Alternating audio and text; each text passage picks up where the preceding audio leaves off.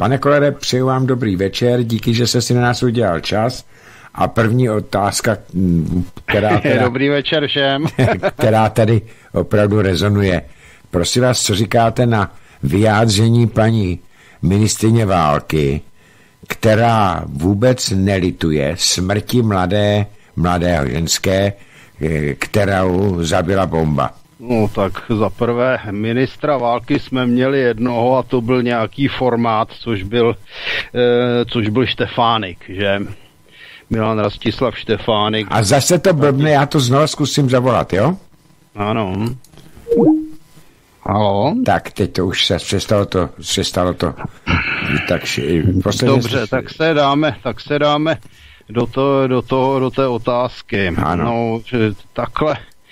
E, za prvé ministra války jsme měli jenom jednoho, to byl jeden z hlav, ze dvou hlavních budovatelů státu, Milan Rastislav Štefánek. E, to, to, co sedí dneska na ministerstvu obrany, to je jedna velká ostuda profesně. Nemohu si pomoct. Jako, to není jenom o tom vyjadřování. Za prvé bych řekl asi tolik. Kdo se prosil paní Černochové, aby se vyjádřila k teroristickému útoku, nebo spíš k vraždě. Ano. Protože teroristický útok vede ke obvykle tedy, pokud výjdeme tedy ze známých definicí terorismu, kterých je několik, nemůžou se na nich shodnout vlastně odborníci a pseudoodborníci, no tak, tak, tak vlastně toto nemá s nějakým terorismem nic společného. Ten, ta, ten vražda ta ne, nemá ani slušný politický potext, to je zloči, zločinné svinstvo, když to nazvu úplně na rovinu. Kdo je zvědavý na názory paní Černochové, ještě navíc teda prezentované způsobem, který bych přirovnal asi k Hulvátovi z Reporí. Skutečně mě udivuje, že teda se paní ministrině dokáže propadnout na takový, takovou primitivní úroveň vyjadřování. Hmm. Měla by se starat, aby měla v armádě pořádek, aby ministerstvo nesmrdělo ruskými agenty a počínaje tedy lid, lidmi kolem ní. Měla by se starat o řádné nákupy a na opravu, na řekněme modernizaci naší armády měla by podporovat náš obraný průmysl a nějaké projevy na úrovni nějaké 15-leté holčiny z pomocné školy někde v Chánově, ty by si mohla nechat to, to, je, to bych teda řekl eh, k paní ministrini, která skutečně se závodí v úbohosti a hloupém žvanění teda s ministrem vnitra je to děs. V současné době, že reprezentanti silových ministerstev jsou nejhorší ministři. Hmm. Jo, to už samo o sobě je teda špatné. No a co se týče teda té vraždy, já jsem se nad tím zamýšlel, podíval jsem se na internet, samozřejmě tam opět stupidní, eh, stupidní propaganda, že tu Duginovu dceru nakonec zavraždili sami Rusové. To, to, to, to jsou stupidity, které mm, nemají konce a nemají úrovně. Eh, když se podíváme eh, vlastně na to, co se stalo, můžeme si položit jednu jedinou základní otázku, opět základní otázku římského práva. Kdo z toho má prospěch? Ano, ono známe Guy Bono. Ano, takže Rusko určitě ne. E, Ukrajina, no popravdě řečeno, já bych řekl, že ani taky moc ne. Tohle je příliš stupidní, dokonce i na želeňského, želeňského banderovce. Ale e, podle mého názoru tady to smrdí lichváři americkými, hmm. kterým jde o to, aby rozeštvávali a vyvolávali nenávist mezi Rusy a Ukrajinci, protože na té je vlastně postavená celá tahle ničemná válka. Ruské zdroje uvádějí, že teda to spáchala nějaká teroristka, která utekla do Lotyšska. Hmm. To je další, co teda mě vede k tomu, že spíš bych zatím čekal špinavé ruce CIA, hmm která konec konců má celé, celé patro na ukrajinské ministerstvo. No dneska vlastně ta ukrajinská válka není ukrajinská, to je válka amerických lichvářů a evropských revanšistů proti Rusku A takže já jsem toho názoru, že toto, ať se to bude jevit jakoliv, je práce CIA, která to dělá na objednávku amerického deep stateu. Jehož cílem je rozeštvávat lidi v Evropě a vyvolávat nenávist. Takže to je můj názor na věc. Eh, mě včer, abych se vám přiznal, tak mě to úplně šokovalo. A tak jsem si jenom uvědomil jednu věc, pane Kolere. Eh, teďka to možná bude eh, působit misoginsky, jo, ale všechny dámy, se kterými člověk nemůže souhlasit, nejsou matkami. Jo, ano, Černochová, e, ta, že jo, naše bývalá slavná Gertruda z, z Německa. Ano, ano, ano, ano. To je skutečně pravda, no tak já bych řekl, že i na Černochovou, který je teda asi 48, bezdětná, řekl bych, že jako většina politiků na ministerstvech začíná ještě tloustnout navíc, mm. takže nějaký ten sexepíl tam není. Mm, můžeme se podívat i jinde, že na některé typy takže je to pravda. Podle mého názoru jsou ty, tyto typy vybírány naprosto záměrně. Že jo, já si taky myslím. E, pane Kole, další věc, kterou mě zajímal váš názor. Já jsem četl, eh, že nějaký vysoký představitel, a teďka nevím, jestli to byl Stoltenberg nebo někdo jiný, abyste mi nechytali vážení posluchači za slovo, prohlásil, že případě, že si, a teďka cituju to, co jsem čet, že Rusové budou nadále ostřelovat velkou atomovou elektránu Záporoží, tak, aby vyvolali jadernou katastrofu.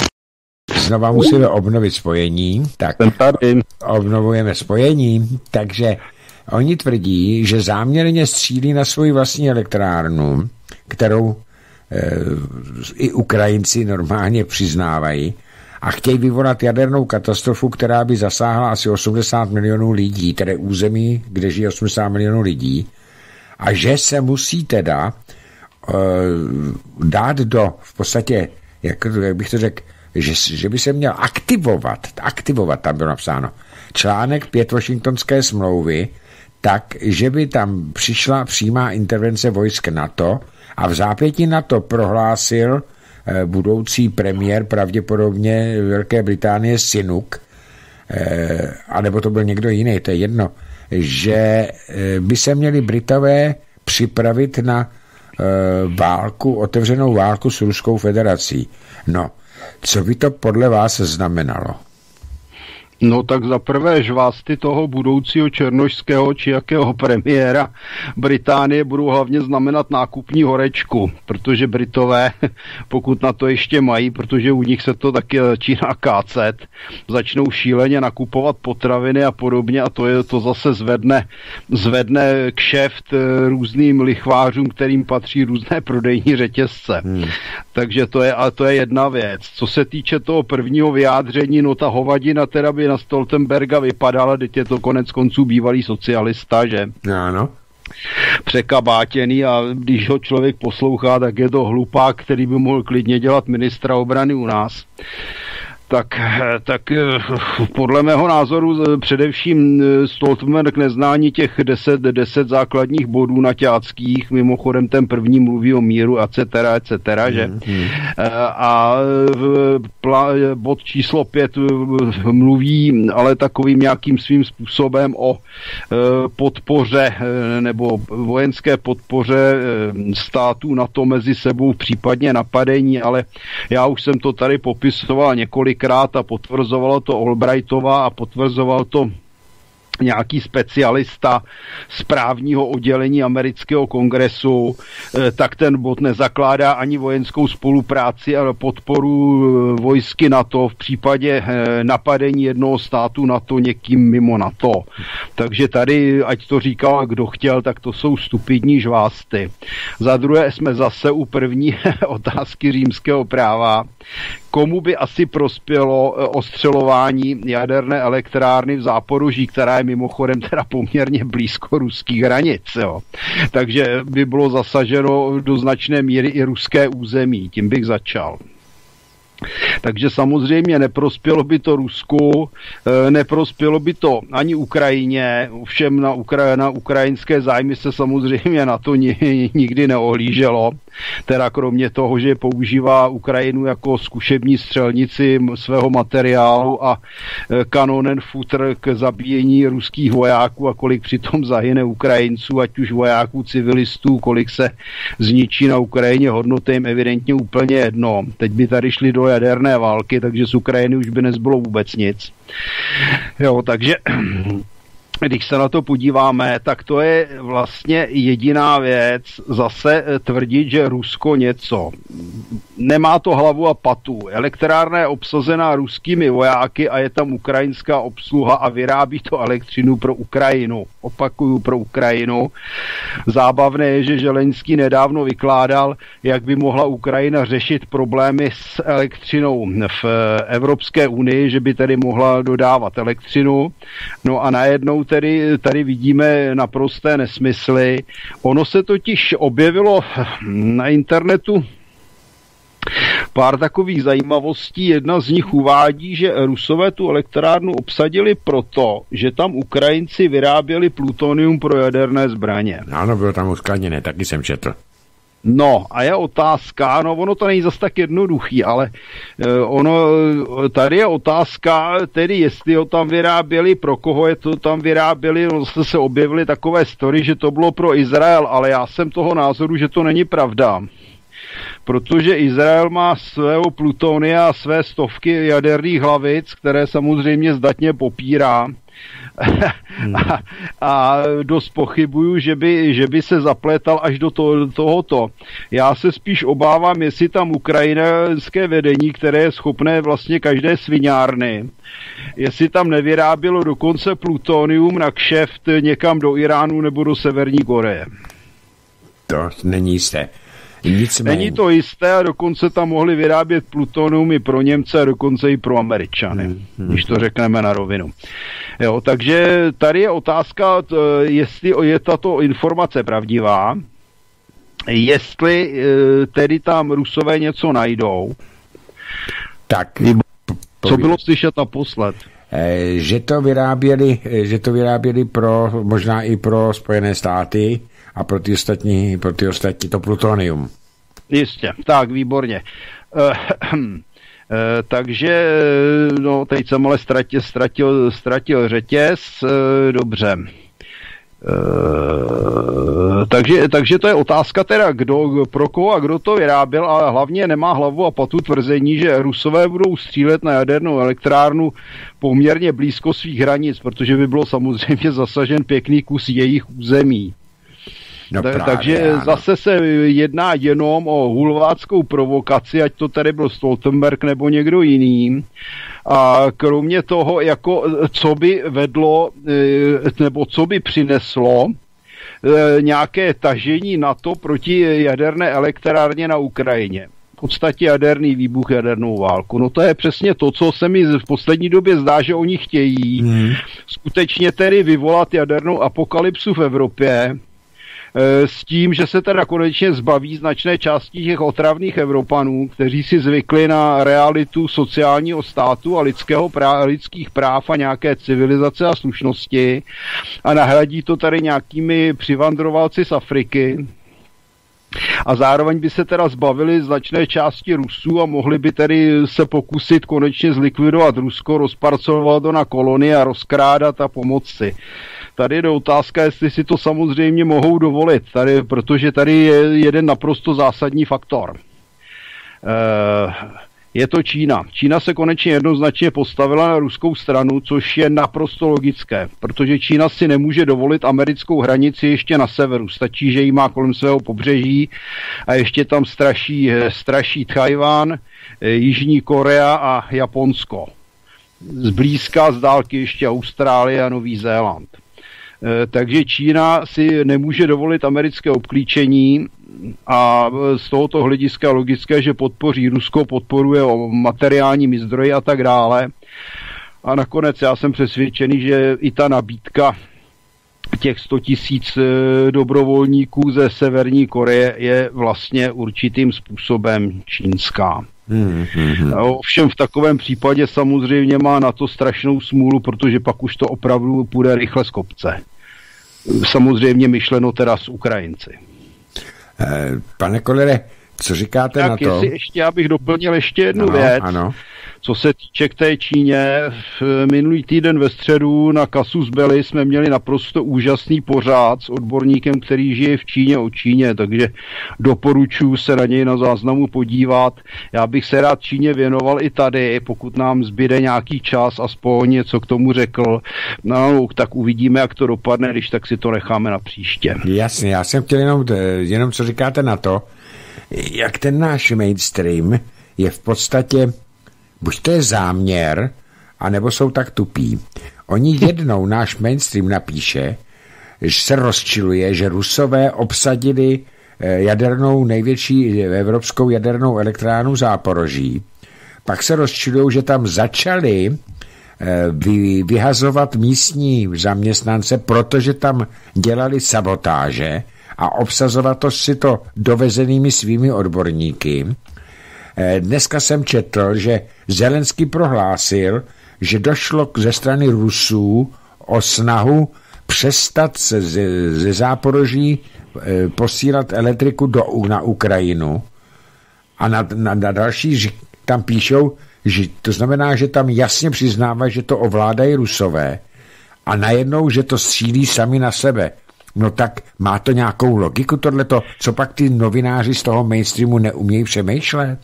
E, neumějí, protože oni jsou placení za to, aby opisovali a jejich myšlení se pohybuje na úrovni nadpisů e, v článcích z různých zahraničních zdrojů, samozřejmě zdrojů na to EU, případně opisují celé články, případně dostávají texty hotové z americké ambasády, takže ta se nebo tedy z různých neziskovek ovládaných Sorošem. Takže bohužel jako úroveň našich novinářů je neuvěřitelně pokračující poklesla, e, málo kde najdete někoho, co něco umí a když něco umí, tak se doslova prostituje a pomáhá zlu a svinstvu. Samozřejmě, že to nemá logiku. E, kromě toho, jestliže kdyby Rusové chtěli vypnout transfer elektřiny ze Záporoží na Ukrajinu, tak jim na to stačí strašně málo, tak jsou tam prostě eh, takové transformátory vypínací na vysoké napětí, kterými se to vypíná a kdyby to chtěli udělat pořádně, no tak prostě přivážou pár náloží k sloupům vysokého napětí, povalí ho a s bohem. Hmm, hmm, hmm, no právě. Eh, co říkáte na to, že tady eh, paní Pekarová, naslácíme se na ten náš rybníček, eh, prohlásila, eh, že, a to mě to teda zase naprosto fascinovalo, nebetyčná hloupost tyhle ty dámy překonává i ty nejhorší o, o, pesimistické představy o ní.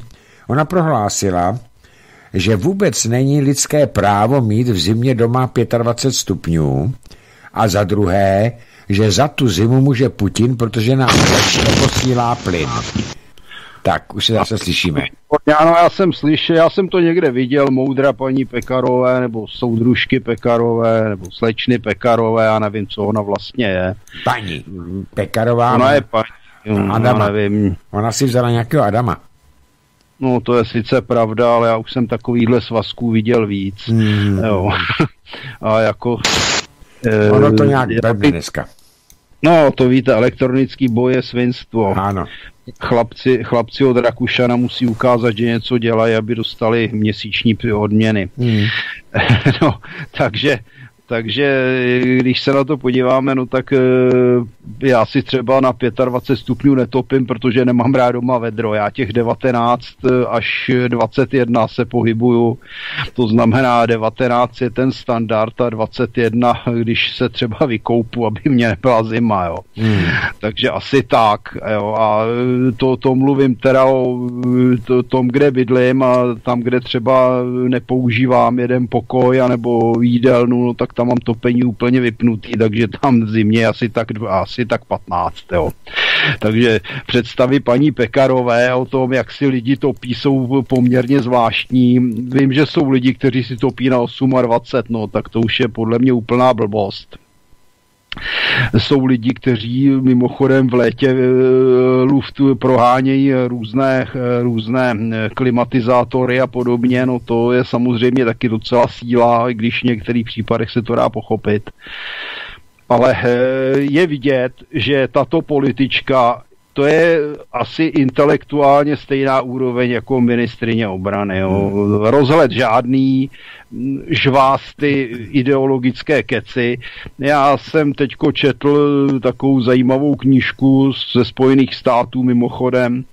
Je to jak ruská propaganda, popisují tam 50. a 60. léta a musím říct, že to, co vidím u nás, tak to mě silně ta 50. léta připomíná, ta blbost, to tupství, ten aktivismus politický, to lezení do zadku cizákům, to je něco úplně strašného, mně to připadá místama úplně stejný, jo. Samej agent cizáků tady, veřejný, neveřejný, různí aktivisti, hnus. A my jsme si měli pomalu připomenout ještě 21. srpen, když už jsme dva dny po něm, že? Mám to, to na mysli, ano.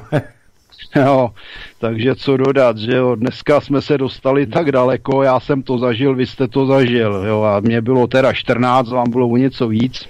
No, já už byl dospělý, já už jsem měl dítě. No, vidíte to, vy kaňoure.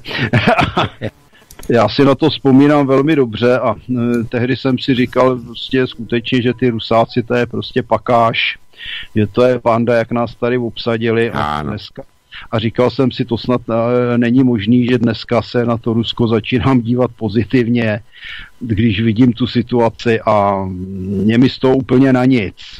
Jo, protože tehdy vyhrála skutečně okupační hloupost, že jo, tupé čistky, likvidace lidí e, s profesní, myslím, ani ne tak fyzická, tolik se jich zase nepozabíjelo. Ale některé ty příhody skutečně stojí za to si tam přečíst to vlastně se u nás moc ani nezveřejňuje. Zajímavé, že některé informace o našich politicích s, s, jsou z USA zajímavější než to, co tady šíří naše propaganda. Je zajímavé, kolik komunistických politiků vlastně bylo agenty z Zichreinsdienstu a gestapa. Hmm, hmm. To je velmi zajímavé. Kolik z těchto lidí fungovalo ještě v roce 1968 a po něm ovšem už jako převerbovaní agenti eh, sovětské GRU. A když to tak vidím a srovnávám ta jména, tak zjišťuji, že další generace těchhle z těch eh, nacistů, komunistů, nacistů, komunistů hmm. jsou dneska opět eh, lumpové, kteří podlézají cizákům a zrazují naší zemi. Mně to připadá vlastně jako rodinný program některých rodin v této zemi je mi to úplně na nic. V tom vidím hlavní problém eh, roku 68. Mm, ta, ta, ta, ta invaze tady hodně zkazila, ale když vidíme ten vývoj dneska, pane bože, ale po tom 68. tady Rusům nic nepatřilo. Dneska tady patří všechno cizákům a ženou nás do války. Ty Rusové, ať se to vezme jak chce, tak vlastně nás do války do, do žádné nenatlačili. Byl tady jakýsi pokus jet na Polsko, to skončilo dřív, než se dojelo, že eh, potom bylo pár specialistů v Afganistánu, vlastně, abych tak řekl, eh, jenom se podívat. Hmm, no hmm. a jinak tady vlastně nic nebylo a dneska tady díky našim slavným spojencům jsme v situaci, kde nám hrozí jaderná válka naprosto reálně a žasnu, kam jsme to dopracovali. A ani se nedivím, že někteří lidé začínají říkat, že vlastně ten 68. nás zachránil od současného vývoje a odsunul ho 30 let. Tak to říkám i tady já veřejně v rádiu protože jsem se dozvěděl až po 90. roce, co se všechno chystalo v tom pražském jaru, kterému jsem strašlivě fandil a nenáviděl jsem taky ty Rusy celou tu dobu, než jsem se to dozvěděl, protože oni totiž už tehdy chystali to, co se tady děje, děje teď. Zachvácení celé republiky, jak říkáte vy, globalistickými lichváři a ukradení veškeré naší ekonomiky a průmyslu a všeho, takže já jsem prozřel až po těch letech, kdy jsem prohlásil, a znova to opakuju, že 21. srpen 68 nám tady v České republice zajistil 20 let normálního klidného života. No, tak nebylo to úplně ideální a když si vzpomenu na ty čistky v armádě, já jsem to teda zaregistroval, když jsem do armády přišel a čistky ve společnosti, to bylo svinstvo.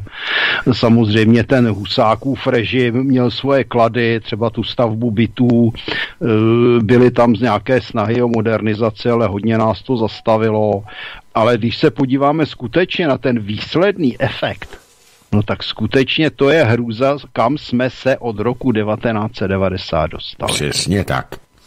Přesně tak. Navíc já jsem bydlel celá ta léta eh, kousek 12 kilometrů od Milovic. Ježiš. A já jsem tady v, tom, v té staré Boleslavi, kde byl velký vojenský, velký vojenský kasárna. No to byla celá základna, tam ano. byly nejenom v kasárnách, tam byly v těch lesích. Tam že jsou jo, dvě jednotky v lesích ještě, ano a tam jedny a jedny úplně utajované raketáci tam. Takže já jsem tam, prosím vás, pane Kolere, neviděl za celou tu dobu, e, kromě toho, když se tam stěhovali, tak ty kolony tam jezdily, ale potom, jak se tam usídli, tak jsem neviděl ve Staré Boleslavi eh, ruské vojáky výjima důstojníků a jejich, jejich e, příšerných manželek. No je to pravda, oni byli, pokud vím, nejvíc vidět v Olomouci, co já vím, a někde na severu, jo, ale jinak opravdu ta armáda, kterou teda nazýváme okupační, tak zase tak moc vidět nebyla a řekněme si to na rovinu, dost lidí si tam si kolem toho pomáhalo, šmelilo, vylepšovalo si politický profil a tak dále. Jo, takže, jak říkám, mě spíš pak vadil ten odchod, který byl provedený velmi hulvácky, s tím, že vlastně ti, eh, ty rodiny těch ruských důstojníků neměly v tom tehdy ještě po končícím sovětském svazu a začínajícím Rusku a nikde bydlet. Hmm. Byli tam v zimě ve stanech a tak dále, což podle mého názoru teda nemělo žádnou úroveň a naši se chovali velmi sprostě. Navíc můžeme říct, že vlastně ti, co tady byli v tom roce 89, tak vlastně zachránili Havla a celou tuhle, tu takzvanou sametovou revoluci revoluci, protože přece Gorbačov dal rozkaz, že kdyby Česko, československá armáda se postavila proti tomu vývoji, tak by tak měla e, rudá armáda, nebo teda, pardon, sovětská armáda vlastně chránit a podporovat Havla. Ano, no, takže ano, místo, ano. místo toho, aby se jim prostě nadávalo, tak by se jim měli vlastně klást věnce za to, že umožnili vznik vlády, e, která podporuje globální lichváře, imperial nacionalisty, kolonialisty a revanšisty. Eh, víte, mě vadí, pane Kolere, hrozně jedna věc. Já celý život bojuji za spravedlnost. Proto jsem byl nepohodlný minulému režimu, proto jsem Jsme nepohodlný tomuhle tomu režimu. A mě teď strašně vadí, že se tady hovoří o těch čtyř, zhruba čtyře, čtyřech stovkách mrtvých, včetně nehod automobilových, které tady byly eh, v době té začátku toho, té okupace. Ale zapomíná se na 384 tisíce mrtvých za dob okupace a rok po okupaci eh, německé, eh, německé třetí říše. Potom se nemluví. No tak to je dneska nepopulární. Já jsem někde četl um, vyjádření, teď už nevím koho, pro boha. Jo, Standy Motla, že jo, ten vyloženě popisoval, protože on jako se dost zabývá těmi zločiny eh, různými za druhé světové války, tak popisoval, že nějaký politik ho přímo vyzýval, že by se neměl věnovat zločinům nacismu a zločinům komunismu. Jo, téměř mu vyhrožoval, hmm, takže já hmm. si jako Standy Motla velmi vážím protože to je člověk, který udělal obrovský kus práce z hlediska české historie a doporučuji všem jeho knihy. Hmm, to jen tak mezi námi. Ale tady vidíme přesně ten trend eh, vyvinovat německý nacismus. No a pak se nemůžeme divit, když vidíme ten fašismus. On vlastně mezi nacismem a fašismem je jenom spíš takový teoretický ano, rozdíl. Nedělejme si iluze, je to stejné tak. svinstvo. Ano, ano. Ono i v Itálii byly koncentráky, kde umírali lidé a tak dále. Ale eh, tady je tendence to vyvinovat a naopak se podporují ty nejodpornější, eh, nejodpornější řekl bych, eh, historické vzory a vidíme to právě na Ukrajině a bohužel i v Pobaltí, což mě dost mrzí, protože já jako jsem v tom Pobaltí byla, ty lidé obecně jsou nám velmi blízcí a oni je tam vlastně tlačí do těch nejhorších svinstev ideologických oslav nacismu a podobně, hmm, hmm. což se mi teda silně nelíbí. No, Ukrajině nemá cenu se bavit, ten stát je silně sfašizovaný. Já ne, nechci říkat, že Ukrajinci jsou fašisti, ale u, u, jsem rozhodně přesvědčen, že ta želeňského vláda to je opravdu fašistická banda, která naprosto nezodpovědně a zločině protahuje válku, kterou nemůže vyhrát a to znamená stále více a více mrtvých Ukrajinců, stále více a více zničených hodnot a na, v konečném důsledku to zaplatí teda za prvé ti Ukrajinci, co tam přežijou, a za druhé to teda zaplatíme my. Hm, takže hm, řekněme si to na rovinu. To, co vidíme na Ukrajině, je docela obyčejný fašismus a nejhorší, že je teda podporovaný lidmi, kteří by měli teda mít obzvláště špatný názor na fašismus. A navíc je tady spousta Ukrajinců, říkáte na to, že já jsem dostal informace od lidí, kteří se pohybují kolem dráhy, kolem železnice, že teďka bude mít Ukrajina nějaký svátek, nevím jaký, a e, protože mi to nezajímá.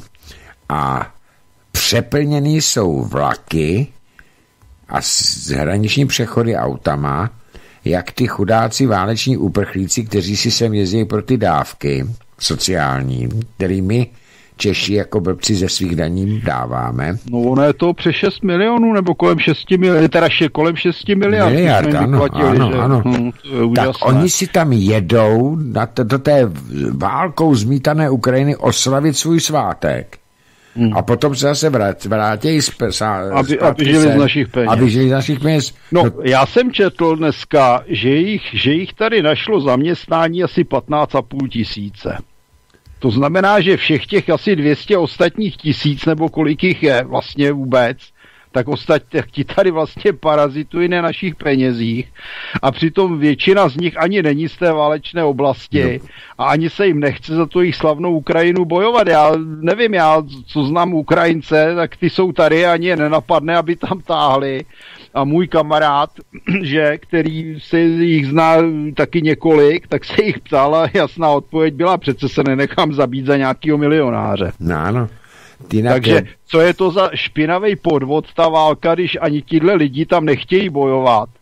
A ať se tady předvádí jakákoliv komedie, protože to, co vidíme v te- české televizi, v českém rozhlase slyšíme a vidíme na seznamu, to je tak pitomá propaganda, že by se tomu vysmál starý Goebbels. Hmm o těch neustálých ukrajinských vítězstvích zase babička zahnala hráběmi tankovou divizi, jak já říkám, a mm, tamhle někde vyhodili sklad a tamhle někde někoho otrávili, no to je sice všecko hezký, ale pro mě tohle jsou takové věci, jako když v tom dobrém vojáku Švejkovi mluví o tom, jak ten mm, vozatec Josef Bong zachránil koňský postroj pro císaře pána. Mm. Jo, ale důležitý je výsledek té války, té války, tak jsem si zrovna zrovna vzpomněl na velkého experta české televize e, seznamu Lukáše Visingera, jak tam vykládal, jak teda začala ta ofenzíva ukrajinská, která zažene ty rusáky e, z Donbasu a z Krymu, no a ona ta ofenzíva začala, spadla a je po ní, jo. takže mm. Visingerova ofenzíva skončila, e, ale za to Rusové úspěšně postupují zase jinde.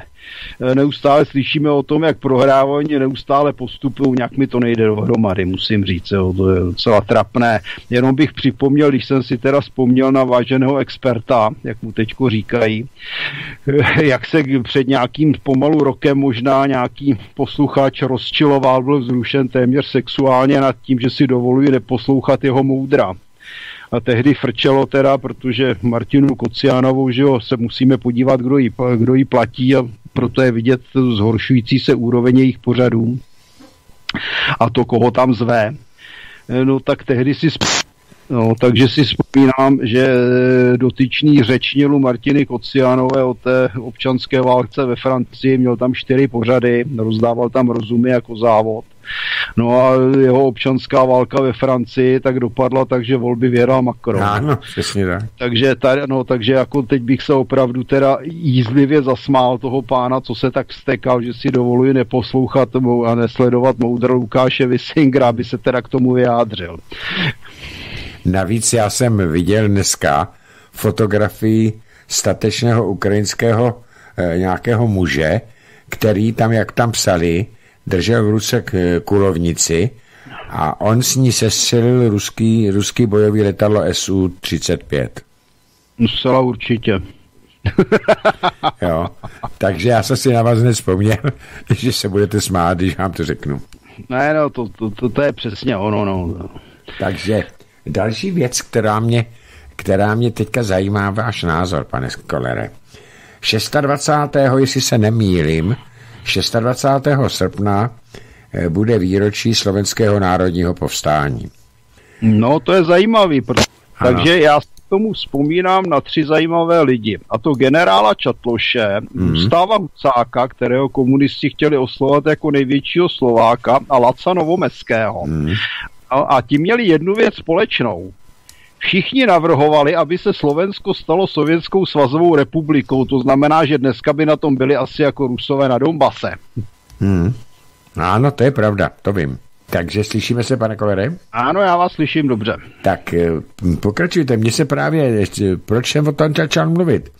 Eh, protože my jsme byli Československo a eh, v podstatě Slovensko se přidalo hned po hned po 15. březnu si vyhlásilo fašistický slovenský štát svým prezidentem Tisem a potom přece jenom se tam objevili nějací nějací lidé, kteří se těm Němcům zepřeli a vyvolalo se slovenské národní povstání. A o něm se teď taky nemluví.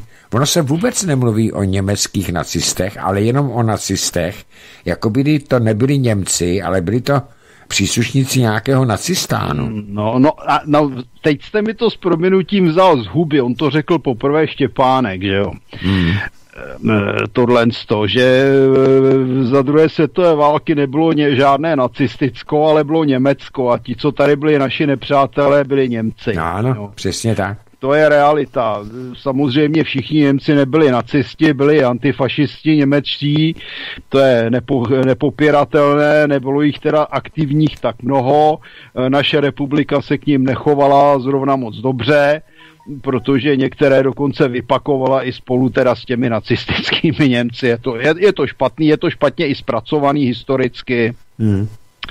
Eh, dneska se dočtete o tom, jak hrdiní SSáci bojovali, bojovali eh, společně se spojenci, ale nedočtete se o tom, eh, kolik vlastně Němců zahynulo v rámci odboje proti Hitlerovi a jeho bandě v Německu a jinde a kolik vlastně Němců v rámci Rotever pomáhalo československé armádě a poličetnictvu při obraně pohraničí a tak dále, jak se s nimi jednalo tady, jak se s nimi pak jednalo, když to tu Němci obsadili. O tom neslyšíme skoro nic, ano, ale tak. Stále, se, stále se vyrábějí nějaké žvásty, kidy, nesmysly na téma vyvinit e, německý fašismus. Vraťme se klidně k tému, tomu původnímu označení, kdy to byla fašistická banda, ten Hitler.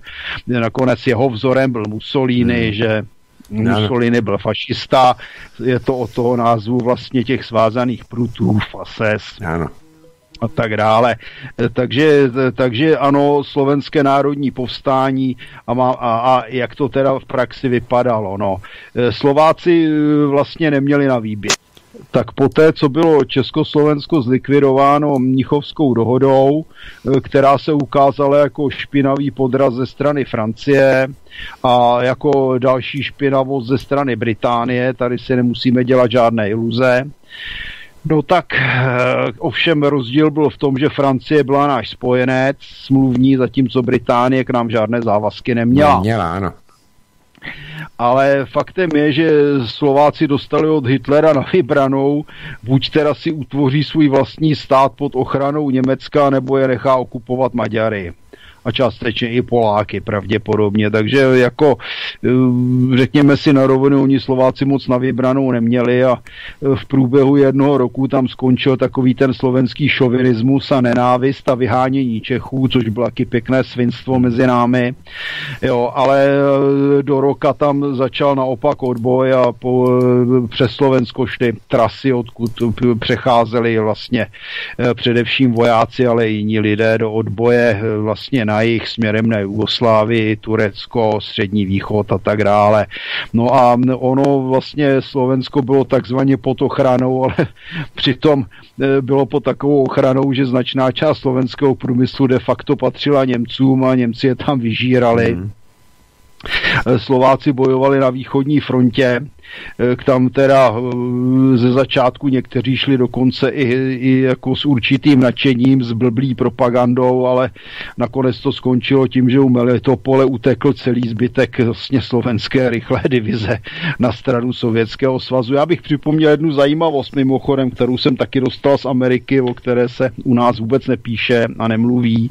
Připomněl bych našeho slavného ministra Martina Zůra, pod kterým jsem teda taky sloužil, bohužel.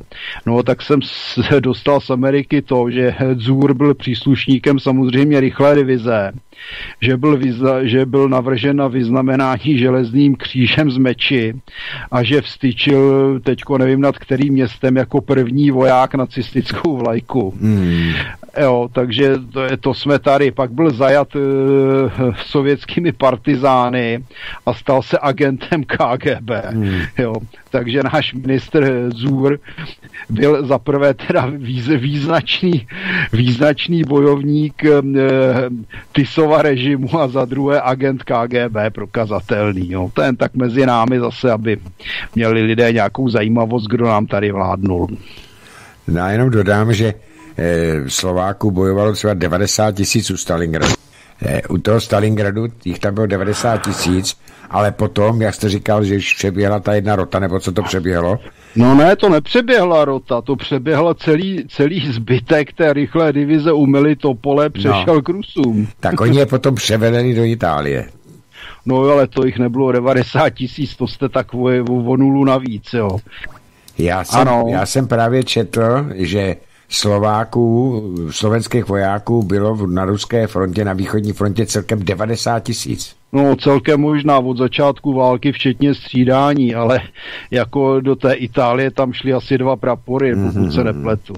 Jo, a u, u Melitopole už z té brigády taky zas tak moc nezbývalo. Jo. Oni tam byli už předtím poměrně početné dezerce, můžeme si vzpomenout ano, kapitána nálepku a tak dále. Slovenské letectvo uprchlo, že jo, cel, vlastně celé přeletělo do Sovětského svazu, e, včetně teda asi 30 letounů, pokud se nepletu, Messerschmitt B-109G. Hmm. Zajímavé je, že Sovětský svaz po válce nám odmítl tyto letouny vrátit a prohlásil za válečnou kořist. No ale teďka, proč tedy se u nás vůbec o tom slovenském národním povstání nehovoří? No, protože to bylo povstání proti fašistům a dneska ten fašistický revanšismus kraluje v Evropě, že jo. Tady je snaha eh, předělat historii. Je zajímavé, že tu předělávky historie jsme tady zažívali i po tom srpnu, teda vlastně v 50. letech a pokračovalo to po srpnu 68, no. jak říkám, ono to taky nebylo ideální. Jo, ale teďko bych řekl, že ta tendence krásná naší historii a tady je tendence totiž jedna vyrobit eh, vlastně eh, jakýsi ten středoevropský region, do kterého by nadspali Poláky, nás, Slováky, Maďary a připojili papírově k Rakousku, takže by jsme byli zpátky vlastně v rakouském mocnářství, které nás tady 300 let okupovalo a ničilo českou státnost a českou, českou víru husickou a tak dále. No a vrátit v podstatě toto a když si připomeneme, že Rakousko je jenom e, německá východní marka, no tak tady máme najednou zpátky ty hitlerovské nacistické plány Mittel Evropy a podobně, kde by zase byli Němci pány a Slovaně otroci. A e, ono je těžké to prosadit, pokud v povědomí lidí je tady ta pravda o, tom, e, o těch zločinech fašismu. No tak to je, toho je třeba se zbavit, do lidí natloukat, že za Rakouska jsme se měli měli skvěle, což je naprosto sprostá lež. Ano, je. Já jsem četl vzpomínky ruského důstojníka v době napoleonských válek, který byl udiven chudobou českých zemí. Jo. No, hmm. bodeď by ne, protože te, už tehdy byly české země eh, nezdolně vyžírány e, Rakouskem, te, te, tehdy teda Rakouskem, pak když vznikl dualismus, že v polovině 19. století, no tak se ta vyžíračka rozdělila mezi mm, Rakušany, eh, nebo tedy eh, eh, rakouské Němce a Maďary, kdy vlastně v Předlitavsku Rakušané vyžírali, vyžírali Slovany, kde mohli, no a zároveň jim pomáhali Maďaři, kteří vyžírali Slováky, Chorvaty, a, pardon, Chorvaty už ne, Slováky, Slovince a další. Ono, ono je to dneska trošku jinak z hlediska hranic, no ale je zajímavé, že jakmile tedy se rozsypal, rozsypal odpor z centrálních mocností, to znamená Německa, eh, Rakouska a Turecka, to Turecko vlastně už to byl takový přívěsek, mm no tak všechny ty eh, kolonizované státy uprchly a značením se eh, využili eh, práva na sebeuručení národů proklamovaného americkým prezidentem Wilsonem a šli z toho z nádherného Rakouska, kde se jim tak dobře žilo pryč. Nakonec naše dědictví první světové války byl podíl na rakouských dluzích, 100 tisíc mrtvých, nebo kolik jsme měli, obrovské množství různých mrzáků, invalidů, poničené hospodářství a tak dále dále. Takže e, jako pokud někdo tvrdí, že jsme se měli za Rakouska dobře, no tak bych připomněl národnostní štvanice, které pořádali Němci třeba nakladně, kde vyhazovali zbytů dělníky, kteří mluvili česky a připomněl bych, že v e, plzeňské Škodovce, pokud tam promluvil někdo česky, tak za to dostal pokutu. Takže takhle to vypadlo, to úžasné Rakousko. Je to přesně tak, protože Eh, moje babička s dědou se narodili za Rakouska Uherska a žili tam, protože děda se narodil v roce 1894, babička 1897, takže jsme si o tom často povídali a ona právě říkala, že za toho slavného Rakouska Uherska, také to říkala, takže se někteří měli dobře, ale většina, jako dneska. jako dneska, většina lidí že se měla špatně a navíc, co mi říkali, že děda byl ve válce, babička byla tady, eh, v Česku, tedy v zemích, eh, v zemích koruny české, a říkala, že se vůbec nehovoří o tom, kolik tisíc lidí a hlavně dětí po dobu první světové války zemřelo hlady, protože ano. armáda zrekvírovala i venkovanům veškerý e, proviant. Samozřejmě tady byl obrovský deficit nenarozených dětí a dětí, které zemřely. A ono teda navíc bych připomněl ještě jednu pořádnou špinavost. E, spojenci nechali vlastně e, od konce roku 1918 stát naložené lodě s obilýma potravinami a nechali působit hladomor v prostoru centrálních mocností. Dneska jediný hladomor, o kterém se mluví, je hladomor na Ukrajině. Hmm. Ale že zemřeli miliony lidí následkem této blokády, ano, a to ano. i u nás e, byl určitý počet. A vedlo to patrně i k silnějšímu rozšíření španělské chřipky která teda ty e, oběti umocnila. O tom hmm. se samozřejmě nemluví. Nemluví, přesně tak. Ale zpátky k tomu slovenskému postání aby jsme to nezamluvili. Víte, co mě na tom velmi zajímá?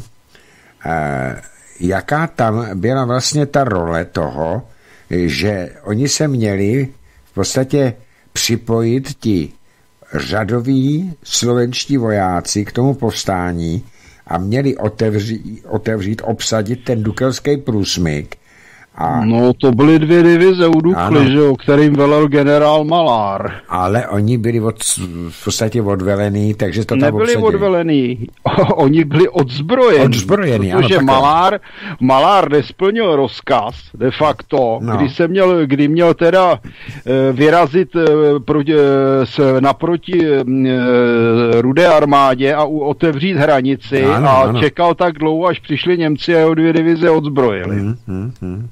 A zavřeli v kasánách, ano. To jsem taky čet. Já tam mám tu knížku o tom, eh, co napsali ty, takže tam se to právě psalo o tom, že proto tam bylo tolik těch e, mrtvých třeba na, tom, na té Dukle, e, protože... No tak na té Dukle bylo hodně mrtvých, proto za prvé teda, že slovenské divize byly díky Malárovi odzbrojené. Hmm, ano a za druhé proto, že jaksi Stalin eh, a jeho NKVD, tedy ještě, už nevím, jestli to bylo ještě NKVD nebo KGB. To ne, NKVD byl až do konce, eh, do konce Takže války. NKVD, no tak to vidělo velký problém v našem sboru, protože za prvé většina důstojníků byli západáci za druhé, ve sboru byl velký počet volínských Čechů, kteří neměli e, jaksi velkou lásku k Sovětskému svazu. Je zajímavé, že tam byli i lidé, tam, to jsem vůbec netušil, že existovaly vesnice na Kavkaze, o tam tu také přišli hmm. jaksi Češi, kteří opět neměli velkou lásku k Sovětskému svazu, no a pak tam přišla dost lidí taky z, z sovětského gulagu, no a ti samozřejmě taky neměli velkou lásku k Sovětskému svazu. Takže údajně to, co se dělo na Dukle, bylo naprosto záměrné, aby bylo co možno maximum těchto lidí vybito hmm. a vlastně se pak doplňovali až odvody de facto na území Slovenska. Hmm, hmm, hmm. Oni potom svedli těžké boje u Ostravy, že jo? Ale e, v podstatě na té Dukle to byl masakr, no, to je pravda. Já jsem, e, já jsem se bavil, teda už je taky mrtvý, e, s člověkem, to byl Rusín, který se dal ke Svobodově, armádě hned do Buzuluku ale Jasně, to... protože oni se chtěli dostat z podkarpatské Rusy Přesně a hlavně ke konci války tam byla katastrofální situace, protože nakonec se stalo realitou to, že Beneš vlastně vyměnil podkarpatskou Rus za Slovensko, když to tak řeknu. Jo, protože tam byla ta tendence udělat slovenskou ukrajinskou republiku, na to teda nedošlo, no tak zaplatil aspoň tou podkarpatskou Rusí. Um, ano, to bylo, říkalo se, že to byla že to byla eh, daň za osvobození. Podkarpatská Rus. No, to je asi jako no. když naše republika platila ty miliardy franků ve zlatě té daně za osvobození za první republiky francouzům, že? Ty se na nás ano. pak vykašlali. No a jako jsme museli platit angličanům i kartáčky na zuby a kaničky do bod, našim, no, za naše letce. My jsme to museli zaplatit a Lentis, který přišel z Anglie, tak ten Stalin zaplatit nemusel. A na druhé straně je fakt, že Stalin nám odepsal veškerou výzbroj východního odboje a hmm. ještě po válce dodal výzbroj pro dvě divize. To se taky vůbec ne, se nevěděl, abych sám přiznal tohle. Hodně no, se o to ano. zajímávám, no východní odboj nemusel zaplatit nic, hmm. přestože tam byly dokonce i dost věcí z Lentleasu, počínaje Jeepy přes Harley Davidsony, samopaly Thompson, já nevím, Studebeckery, hmm. Dodge, automobily, že tak z toho se ne, za to nemuselo Československo zaplatit ani halíř eh, hmm. Sovětskému svazu, a který to nakonec teda uhádal i svoje dluhy hodně nízko. Já už jsem tady, myslím, navíc říkal, že sovětský svaz, teda už tedy Rusko, zaplatilo v 90. letech ukrajinský podíl Land Leaseu. Ano, ano. To, což je taky úžasná ukázka, jak teda ta nenávist ruská, to zlo, když za ně zaplatili jejich dluhy. No ale jak, si, jak jsem říkal, eh, výzbroj východního odboje byla komplet odepsaná eh, v, če, eh, v československý prospěch a navíc po válce teda dodal sovětský svaz kompletní výzbroj pro dvě divize. A proč se, tedy, proč se tedy, pane Kolere, o tom slovenském národním povstání eh, se nad ním zavřela voda. Na našem mainstreamu se o něm v podstatě vůbec nehovoří. Já nevím proč, teď je to součástí československé historie a společných dějin. No, ale za to se třeba dočtete, že Čaputová se byla o dovolené podívat v Česku. Jo? no jo, kde jinde než na Lukačovičově eh, troubě cizáckých zájmů značky seznam, že? No největší sranda je, jak jsem četl právě na, ten, na této troubě, eh, na tom seznamu, jak houfně eh, prchají lidi z Krymu, protože se tam bojí toho, že to obsadí ukrajinská armáda. O, tak a na Češ, na Češ se, hned jak to tam vyšlo, tak tam byli nějací Češi na dovolené, tak poslali a dali to na, fe, na Facebook nebo někam, jsem viděl fotky, jak utíkali eh, ti rusové z, z, toho, z toho Sevastopolu a z toho Krymu, eh, tak, až byly přeplněny pláže ale to je normální, jako to je to, co já tvrdím stále, že e, na, o té válce vlastně lžou všechny strany a nejvíc lže propaganda na to EU, no a tu hmm. vidíme v české televizi, českém rozhlase na seznamu. To, k tomu není co dodat. No, není k tomu co dodat a navíc oni, ty rusové, jsou takový nelidové, že oni tam s tou Ukrajinou válčí, ale přitom jim pořád za stejnou cenu posílají dohodnuté množství plynu. No, to je jedno s druhým. Jako t, e, já nevím, co bych tomu dodal. Jako, já jsem toto už dávno, dávno popisoval v české televizi, kdysi na téma Irák, Afganistán, jak se válčí, neválčí a válčilo, neválčilo, ale jako já to mohu jedně opakovat, že e, ruský přístup, pomineme-li teda samozřejmě nějaké válečné zločiny vůči jednotlivým obyvatelům, které tam asi můžou být, i když podle mého názoru jsou podstatně menší než ukrajinské válečné zločiny hmm. proti Rusům a proti ruským vojákům, eh, no tak jako ten přístup je neuvěřitelně humanistický, nemůžu si pomoct.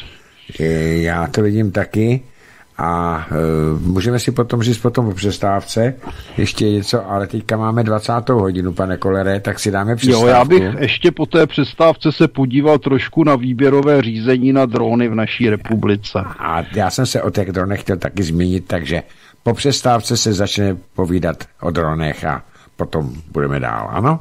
Dobře, takže já to odpojím a radši to pak znova restartujeme, ano, protože ono ano. to stejně padá jak na objednávku. Přesně Možná tak. i na objednávku. Možná i na objednávku, tak se odpojte. Tak vážení přátelé, my si teď dáme tu čtvrthodinku přestávku a já potom pana Kolera opět zavolám. Tak je po přestávce a já jdu volat pana Martina Kolera. Tak ještě jednou dobrý večer, slyšíme se? Ano, slyšíme se. Tak, pane Kolere, je to vaše, povídejte.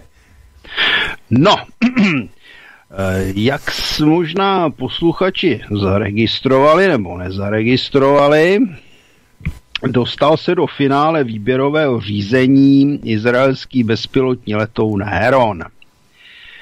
Eh, je zajímavé, že se okamžitě tedy ozvala mohutná kritika. Eh, letadlo bylo označeno za zastaralé létajícího dědečka a tak dále. Slyšíte mě? Ano, slyšíme, posloucháme pozorně. Výborně. Eh, ozvali se k tomu různí specialisté, opět například Lukáš Wissinger, který doporučoval, že by se měli koupit třeba americké bezpilotní letouny Predator, přitom přehlédl, že už se několik let nevyrábějí. Mm-hmm. jo, ale já bych tomu uvedl asi tolik, protože to, řekněme, ta antipropaganda je poměrně silná a hlavně je velmi nekorektní a místy až lživá. E, především e, výběrové řízení v oblasti vojenského materiálu je kombinací řady faktorů. Tam jsou různé vztahy politické, technologické, ekonomické a vždycky je výsledkem nějaký kompromis. Ten by měl samozřejmě, což v naší republice není vždy pravda, můžeme si připomenout zemědělské pick-upy nebo úplně šílený nápad nákupu letounu F-35, ten by měl směřovat k efektivnímu využití peněz daňových poplatníků. Nemusíme se bavit taky o tom, že se na Ukrajinu nesmyslně vyvezla použitelná technika vojenská, která se mohla buď modernizovat, anebo se mohla někam prodat, místo aby se někam házela zadarmo, nebo se mohla využít jako zdroj náhradních dílů. Mluvím tedy o obrněné technice, ať to byly teda tanky T-72, bojová vozidla pěchoty BVP-2, vrtulníky Mi-8, Mi-24 a tak dále, e, raketomety e, vzor 70.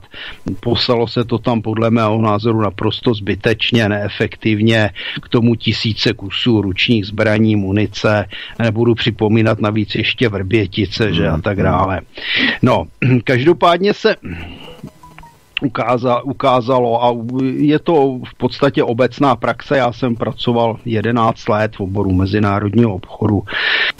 Takže zatím si budeme povídat takhle po telefonu, takže povídej těch zatím eh, o těch eh, výběrovém řízení. Jasně. Eh, takže nedávno jsme tady měli výběrové řízení na bojová vozidla pěchoty. Uspělo vozidlo pěchoty švédské výroby CV90 30. Ta 90 znamená, že to je vlastně eh, bojové vozidlo, to znamená combat vehicle e, pro 90. léta, a zatímco ta 30 znamená e, ráži hlavní výzbroje 30 mm automatický kanon.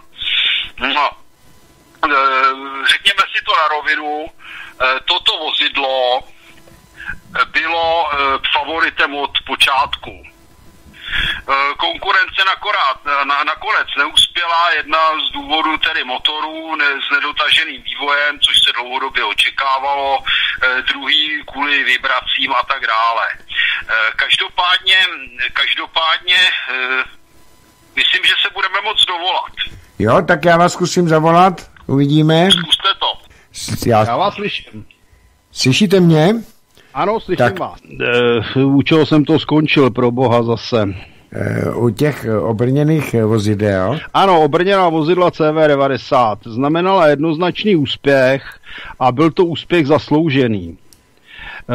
Jak jsem říkal, CV90 bylo favoritem od prvopočátku. Ano, je to ano. vozidlo, které vlastně bylo vyvinuto a dostalo se do výzbroje počátkem 90. let, to znamená, je to 30 let staré vozidlo je tedy starší než drony Heron. E, můžeme mluvit o řadě dalších typů výzbroje, které úspěšně slouží, ať jsou to mm, automatické e, zbraně typu mm, útočných pušek AK-47, AK-74, M16, případně jo, klon M4, kulomety M2HB, HCQB, letouny MiG-29, Su-25, Su-27, F-15, F-16, F-18, A-10, C-130, náš L-39, automobily Tatra, kulomety Minimy a řada další výzbroje, které slouží 30 i více let a nikdo je nenazývá jezdícími, střílejícími dědečky, můžeme tam připojit třeba i taky Leopard 2,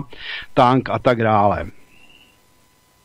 Takže eh, se tady objevuje takováto eh, nekorektní a nesolidní eh, argumentace. Přitom, když se podíváme na zave- dobu zavedení do výzbroje, ne prvního letu, letounu Heron, tak zjistíme, že vlastně všechny konkurenční typy nebo většina konkurenčních typů je, je v zásadě starších nebo stejně starých jako on a pouze asi jenom jeden z těchto typů je uh, o nepříliš eh, mnoho let mladší.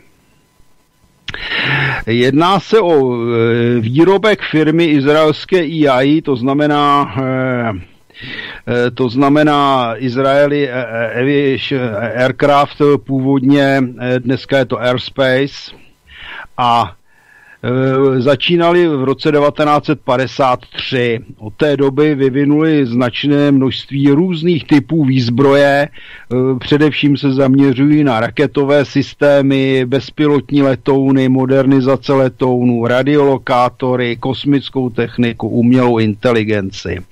Ale co je důležité, už v roce 1973 si to spočítejme, to je vlastně téměř 70 let, eh, se dostal eh, do výzbroje první, te, tehdy tedy izraelských ozbrojených sil první bezpilotní letoun, eh, teda pardon, to je 50 let, abych tady zase ne, neplácal, hmm. se dostal první bezpilotní letoun firmy IAI Byl to typ Scout a byl nasazený vlastně už v době války Jom Kippur.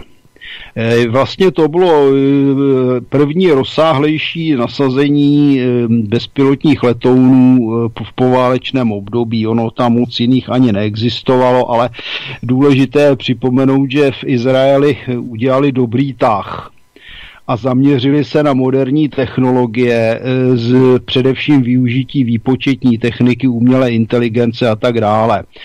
E, druhá věc je, že Izraelci udělali druhý dobrý tah, že při konstrukci těch svých bezpilotních letounů, a to není jenom tedy společnost IAI, vycházeli ze dvou faktorů a to je levná konstrukce toho bezpilotního letounu, jednoduchá konstrukce a ta je spojená, spojená vlastně se špičkovou technologií, elektronikou, především e, výpočetní technikou, umělou inteligencí. E, ta letadla e, vlastně připomínají hm, takové motorové kluzáky, má to velikost zhruba sportovního letounu. E, výkonově to odpovídá zhruba typům po první světové válce, co se týče třeba rychlosti, nosnosti, ale tyto bezpilotní letouny mají jednu úžasnou vlastnost, mají schopnost letu v řadě hodin, v některých případech jsou schopné létat 12 více hodin a to znamená zároveň velký dolet. E, objevila se další kritika, a to na téma, a bylo je to od výrobce českého drónu Primoko, eh, který uvedl několik, řekněme, zkreslených, ne přímo lživých, živých informací a to v médiích a snažil se to prosadit do více strán. Pomineme tedy kritiku eh, doby zavedení letounu Heron, který mimochodem patří k nejúspěšnějším z hlediska jak nasazení, tak eh, počtu států, do kterých je exportován. Je exportován, pokud se nemýlím, do 17 států. A když se podíváme na počet exportovaných kusů a počet zničených kusů v boji, tak je na tom eh, v podstatě téměř nejlépe ze všech typů na světě.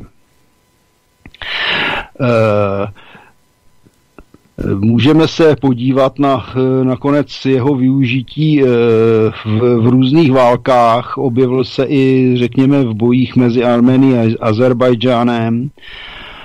A e, je třeba uvést jedno k té kritice ze strany výrobce letounů Primoko. Primoko není špatný typ, ale když se na něj podíváme, no tak zjistíme, že na něm není vlastně nic, co by bylo nějak světově výborné, co by převyšovalo konkurenci a tak dále. Je to dobrý výrobek, ale majitel nebo výrobce e, zapomněl uvést jednu věc. Primoko je v podstatě, dá se říci koncepčně, poloviční heron.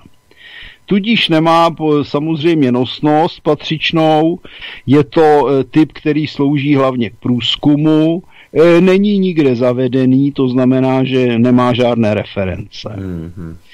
Výrobce tvrdí, že on je jediný, kdo má certifikát na výrobu dronů, to je vyložená lež, protože drony vyrábí u nás několik firm a první firma, která začala vyrábět drony, byl vlastně státní výzkumák letecký, který patří armádě, to znamená e, VTU, LVPO, který je v Praze k Belích, no a první jejich prototyp se objevil v roce 1990 to znamená před více než 30 lety, eh, byl prezentován na eh, výstavě, která byla eh, realizována jako prezentace české výzbroje pro reprezentanty států NATO, a to na letišti ve Kbelích. Já jsem mu to objel, mám tam ty prototypy nafocené. Dneska jeden ten prototyp můžeme vidět v Muzeu letectví a kosmonautiky v Praze Kbelích. E, letoun se jmenuje Sojka, existoval ve třech verzích, bohužel dneska je z výzbroje stažený. Koncepce je vlastně úplně stejná, jakou typu Heron, ovšem velikostí je podstatně menší, taky to byl starší typ. Ale co můžeme uvést? Vlastně e, naše armáda, řekněme, naprosto, naprosto odmítla možnost vyzbrojení svého letectva nebo pozemních sil podle toho, jaké drony a kdo používá vlastními výrobky ten systém soj, Sojka byl vlastně po určité době odsunut, pak byly ještě ty Manta a nějaké další pokusy, armáda neprojevila zájem, nakupovala v podstatě drony ze zahraničí. E, tím, že nebyl podpořen vývoj, tak jsme samozřejmě nemohli se dostat na stejnou úroveň, jako jsou třeba Izraelci, od kterých vlastně kopíruje kde kdo, počínaje Turci, Turky z jejich Bayraktary. Smutné je, že, jsme, že celá Evropská unie, nejenom my, jsme se dostali do situace, kdy tady vlastně není eh, konkurenční typ proti typu Heron, protože vývoj vlastně zanedbala celá Evropská unie. A je, je, je do ukázkou naší úbohosti, že vlastně Turci, kteří vlastně dlouhodobě byli technologicky daleko v závěsu jako nějací kočovníci, dneska ve velkém vyrábějí stovky dronů na, na kšeft zatímco my si je kupujeme. Za to samozřejmě mohou reprezentanti našeho ministerstva obrany za posledních 30 let. Dneska je situace taková, že vlastně vývoj nemáme, a jsme na tom tak, že si teda kupujeme zahraniční výrobek. E, osobně jsem toho názoru, že e, typ Heron byl dobrý, dobrý tah, stejně jako bojové vozidlo pěchoty CV-9030, a je to z více důvodů, protože na rozdíl od konkurenčních typů e, preferuje společnost IAI, obzvláště u výrobní řady Heron, více účelovost. To je nesmírně důležité, protože kdybychom kupovali nějaké jednoúčelové typy, tak by se nám to nesmírně prodražilo. Je to především oblast elektroniky, kde je, eh, abych tak řekl, to řešení vysoce flexibilní, je to otevřený systém na rozdíl od řady jiných dronů. Takže když se podíváme na eh, drony Heron eh, no a podíváme se na ně za dobu jejich služby, tak zjistíme, že tam dochází k velkým změnám, počínaje už základním tvarem toho letounu. No a samozřejmě do té elektroniky nevidíme, ale ta se dá měnit různým způsobem. A ta víceúčelovost je nesmírně důležitá, protože tyto bezpilotní letouny se mohou používat tedy jak u armády, tak u policie, dokonce i v civilu k různým úkolům a tak dále. Mimo eh, toho typu Heron se vyrábí ještě Heron TP, což je větší provedení a takzvaný taktický T-Heron. Eh, hm, eh, problém je v tom, že většina komentátorů a kritiků, kteří se mohli projevit na seznamu, případně i jinde, nedokáže tyto letouny ani rozeznat.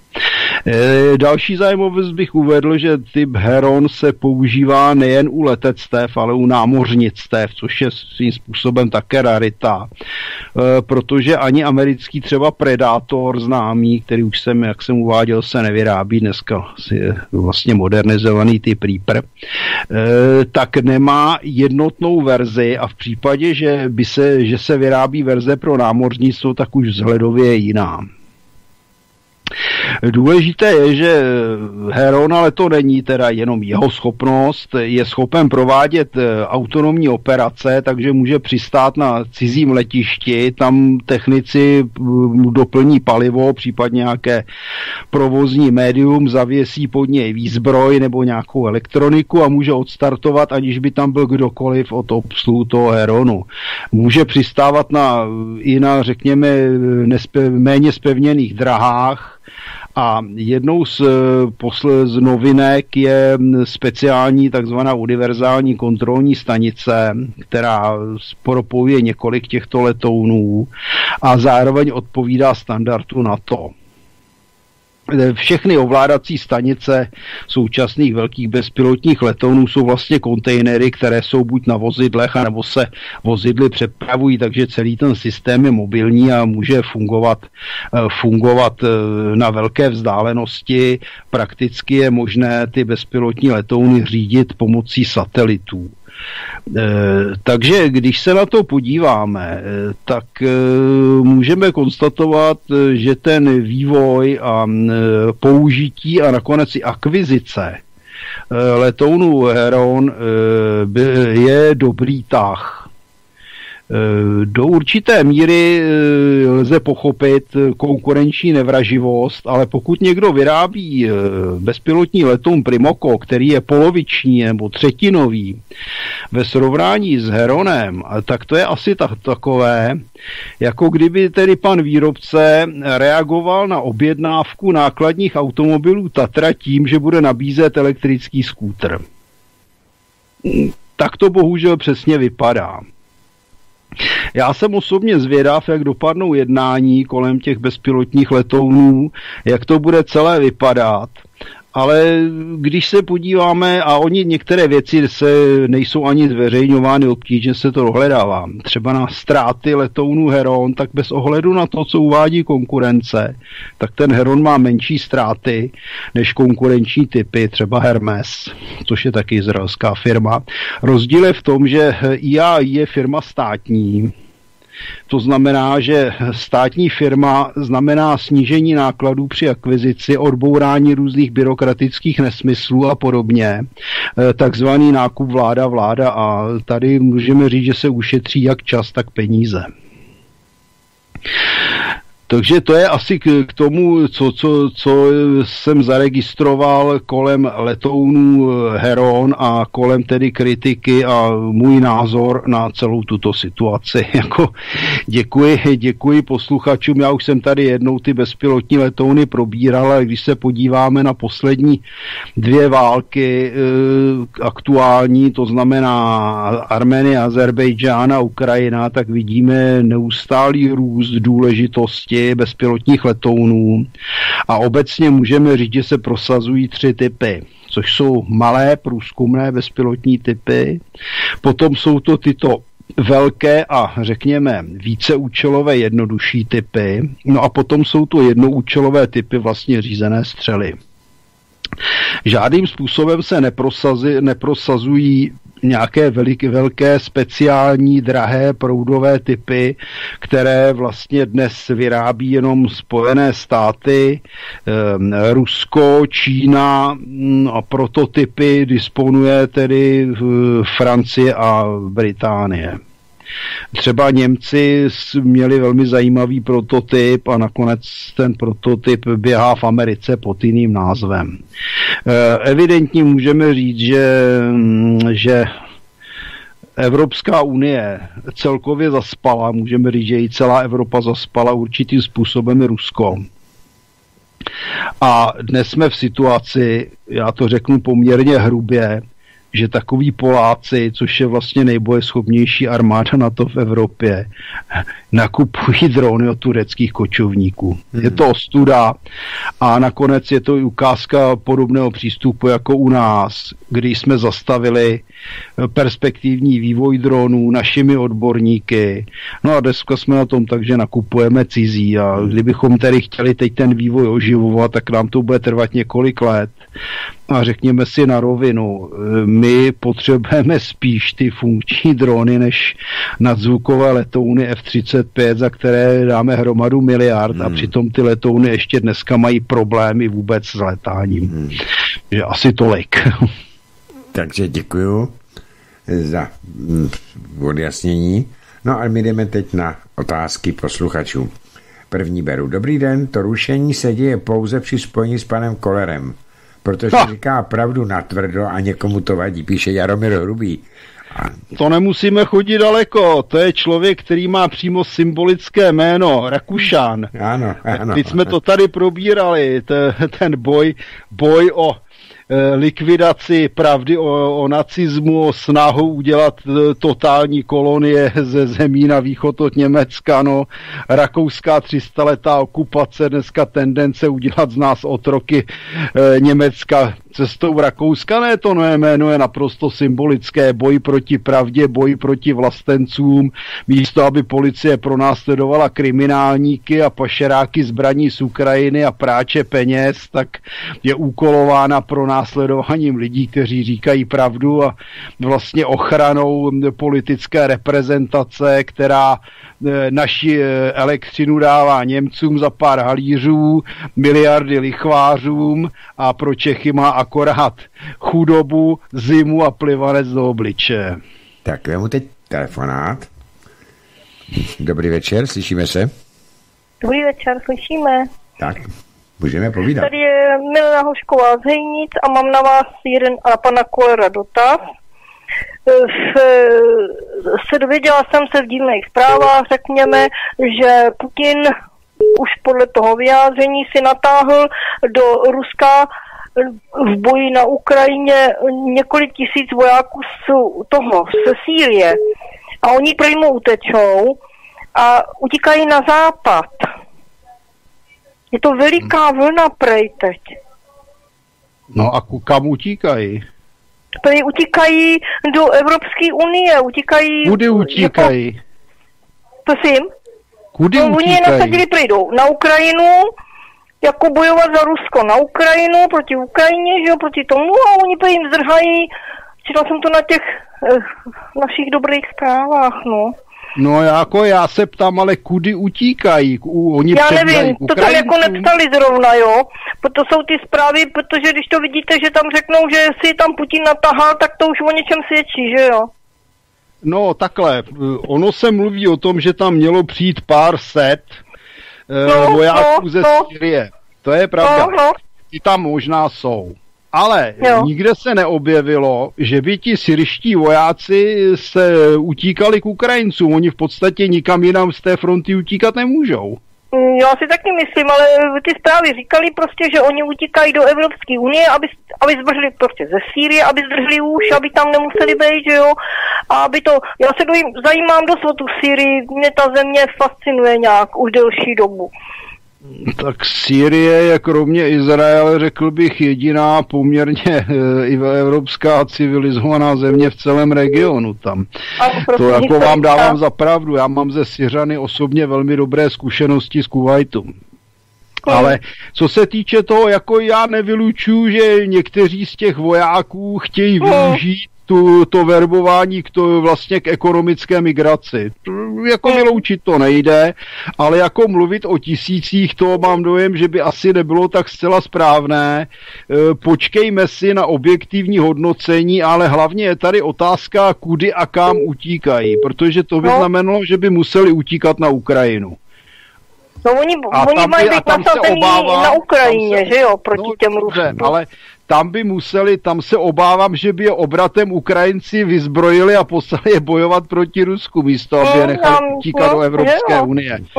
Jako musíme se podívat na to, co píšou naše, mm, řekněme, média, ano. která dávají vyloženě jednostranné informace.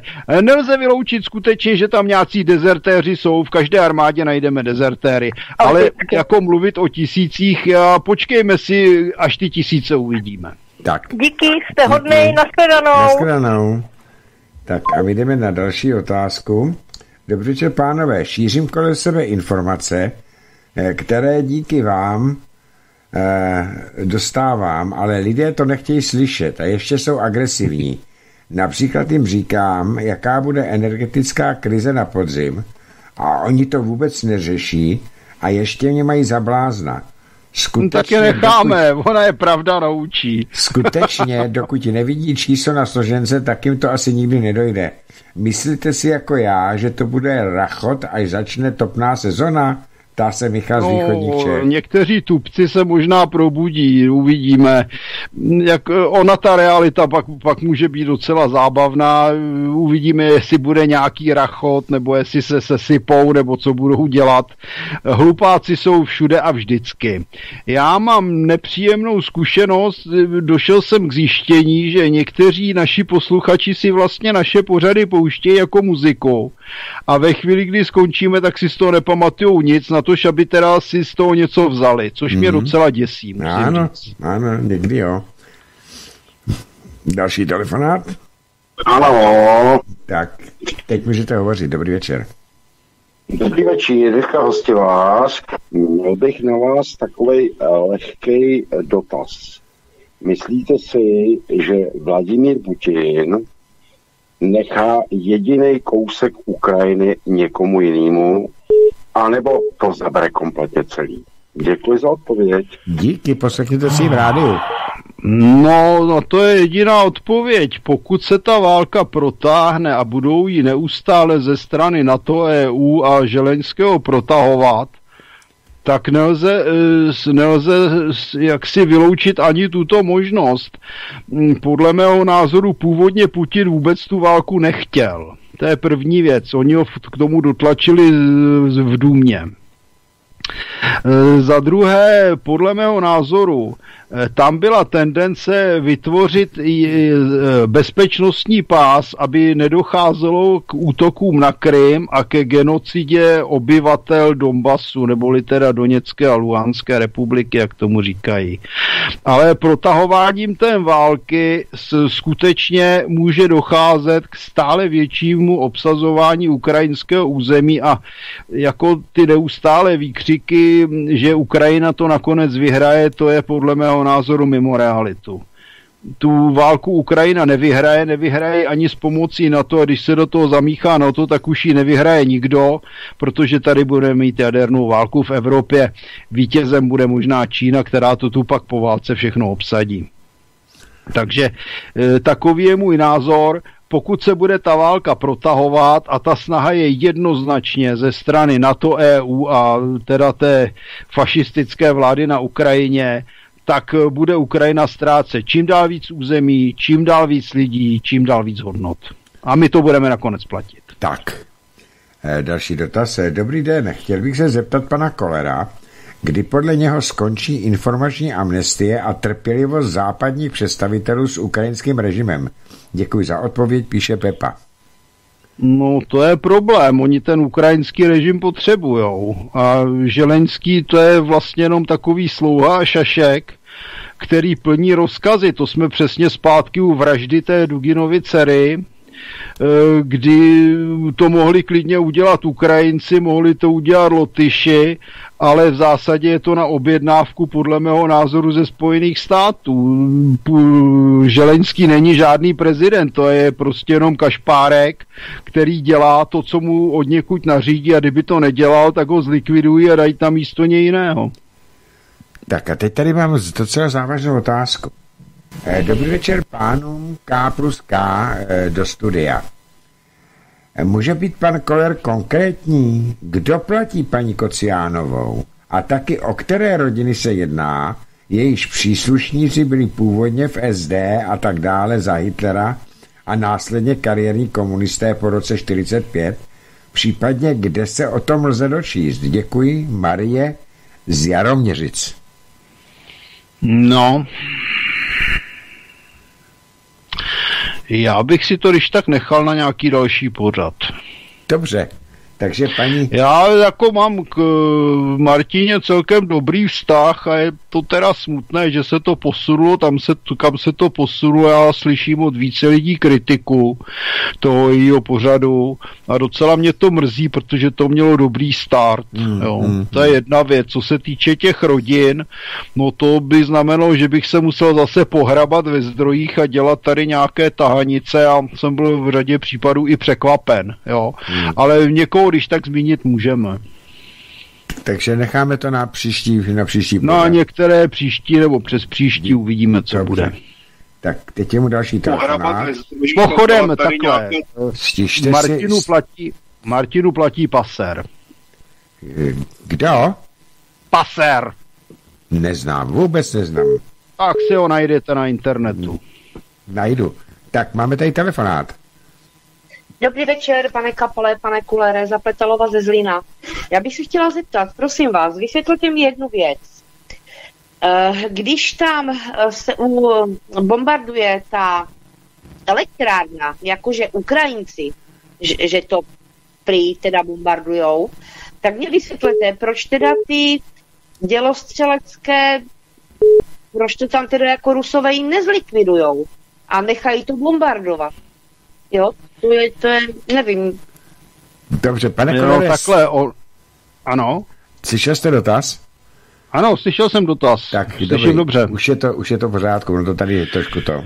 Uh, tam je otázka. Podívejte se, dělostřelecká taktika je asi taková. V současnosti ono to ale platilo i za druhé světové války. Pokud nestojíte v obraně, tak by mělo být dělostřelectvo mobilní. Eh, to znamená, že tam dojde k tomu, že jsou už předem určená místa. No, se tomu říká, tuším, zastaničení, už taky tyhle věci vypadly z hlavy po těch dlouhých letech. Ale v podstatě jsou určená místa v terénu a na mapě. Nejvíce to vidět třeba při použití těch raketometů HIMARS.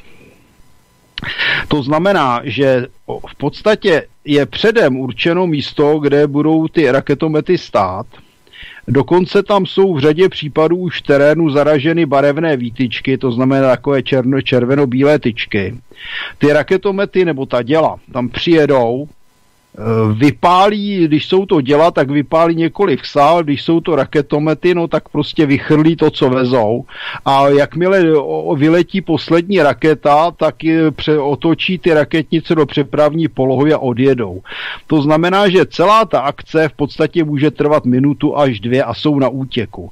A proti tomu se velmi špatně bojuje. To je taktika, která se používala už za druhé světové války, nic nového pod sluncem. Používají to Ukrajinci, Rusové, ovšem Ovšem uh, naše média samozřejmě vykládají, že je to úžasné vítězství Ukrajinců, je to blbost, je to normální zaběhaná taktika dělostřelectva.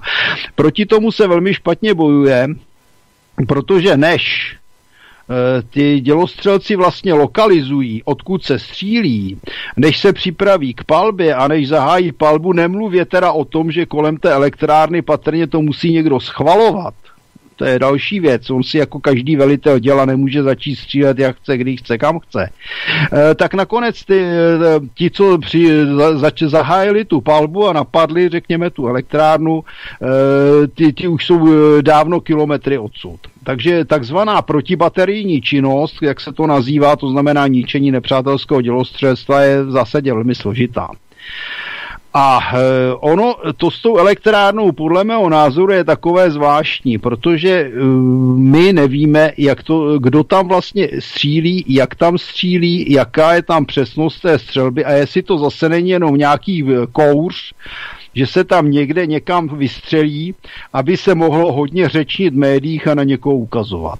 Protože totiž žádné velké škody nejsou hlášeny, abych tak řekl, protože jsem vždycky četl, že to bylo ostřelované, ale e, že ta, ta elektrárna, že provozuje za prvé v provozu, za druhý oni elektrárny bývají stavěné dost odolně, hmm. to je další věc, zvláště ty reaktory. Ty reaktory jsou některé stavěné tak, že by měly vydržet i blízký zásah jadernou hlavicí. Hmm. Takže jak říkám, ono je otázka, jaká je realita, kdo tam s čím střílí. Já se domnívám osobně, že tam střílí Ukrajinci, protože to mají nařízené, jinak by takovou blbost nedělali.